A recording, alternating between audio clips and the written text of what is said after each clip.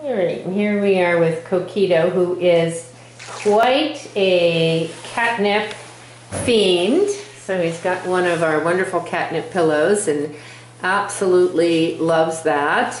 So a very, very um, playful, energetic boy.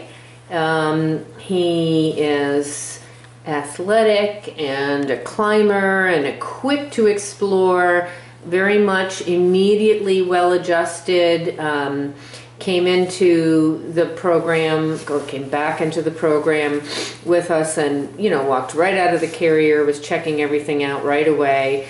Little, probably sensitive, a lot of these cats that have um, a history of urinary tract uh, issues, you know, not just a medical thing, but, but a little, some stress there as well. So, that well this guy doesn't show any kind of stress and seems super just relaxed and playful and friendly and outgoing and everything. Sometimes i think there's just subtle stuff going on. In the previous home um, the woman was pregnant there was a small child so there was probably you know just the normal small children stress that goes on when there's toddlers and, and busyness uh, of that sort. So I think it's it's going to be hard. This guy may be a bit of a conundrum as far as finding the right situation for him. Part of me wants to say, "Oh my gosh, he needs busy and activity and lots of love and attention and people and all that." And then the other part of me says, "Well,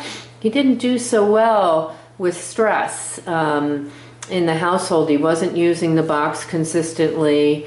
Um, and that is, of course, a concern for everybody. So then maybe a quieter home, um, no kids, might be more suited for him. But then he's a very active and energetic boy, so you have a quieter home and he might be overwhelming.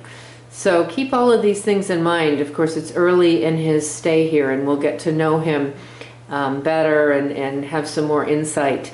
He has been the only cat in the home. Um, we will be integrating him to see how he does. You know, that may solve the issue, having a cat to play with, but I don't have that information yet. So for now, I've marked him as only cat. Um, today is what, February 11th, I think. Um, and as we observe him more and, and we have a vet visit lined up for him and then we'll move him down to group living, and we'll see a little bit just how he kind of does with other cats, um, and uh, you know whether whether we think that that restriction of only cat can be lifted or not. Um, but great, great, very, very involved Seal Point boy.